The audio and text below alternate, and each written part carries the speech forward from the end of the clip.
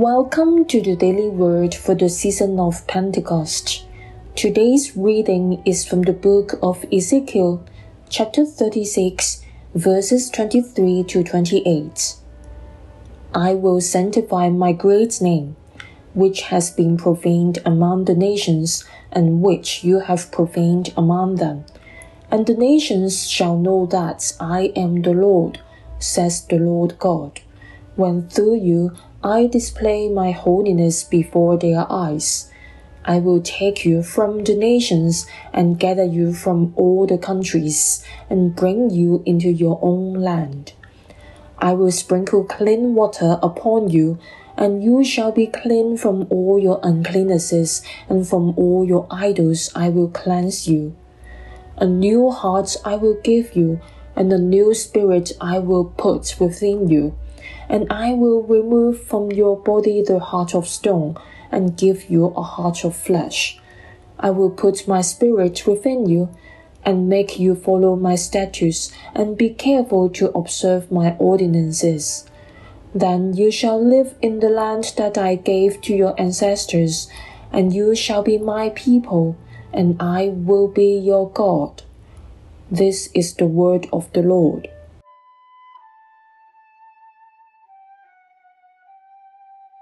A tender heart. Years ago, my laptop shut down all of a sudden. I tried to fix it in different ways, but all effort went in vain. I burned with anxiety when I thought of the precious photos and study notes I had kept in the computer. I really did not want to lose the priceless photos and information I ended up visiting a computer shop that I was familiar with. After examining the laptop professionally, the shop owner informed me that the CPU had broken down. There would be no remedy other than replacing the CPU. The CPU is the soul of any computers. When applied to humans, our CPU is a heart. When it breaks down, our life will lose its colors. Today's reading is taken from Ezekiel. As we study the text more specifically, it belongs to the second half of the book.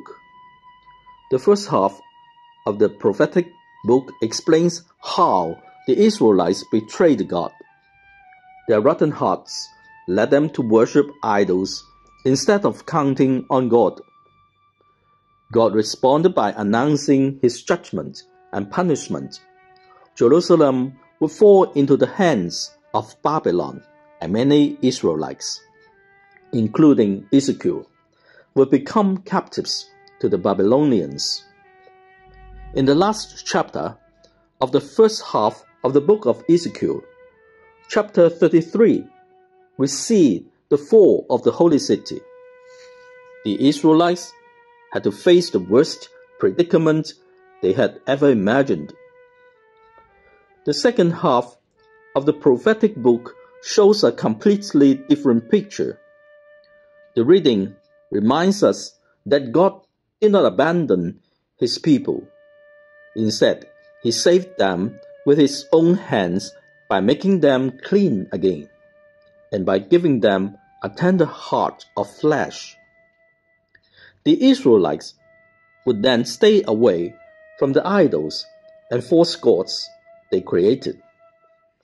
Their identities as God's people was resumed at the moment they walk up to God to listen to his teachings and practice them. For my broken laptop, I eventually decided not to replace the CPU since that would be too expensive. Fortunately, the precious information was retrieved with the help of the shop owner. On the other hand, God is faithful, righteous, and merciful. In today's reading, we see that He is willing to replace the heart of stone with a heart of flesh at all costs. Today, we share the same grace through the death and resurrection of his Son Jesus Christ, God has made us clean from sinfulness and renewed our hearts so that we may have hope to return to the embrace of God's love. Brothers and sisters, do we treasure this precious grace from God? Or are we still ruled by the rotten heart of stone? Do we still indulge in the vanity of idols? May the Lord help us and the Holy Spirit renew us so that we may welcome this precious grace from God. Help us understand and observe His will with a tender heart of flesh, so that we may be good witnesses for God. Amen. Let us have a time of reflection. Are we sometimes stubborn as stones?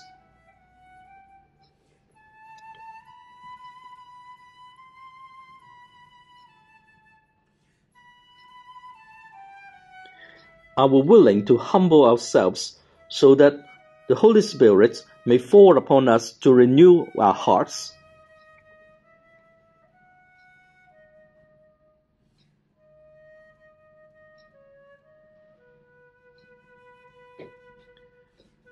How do you want your life to be a witness for the God?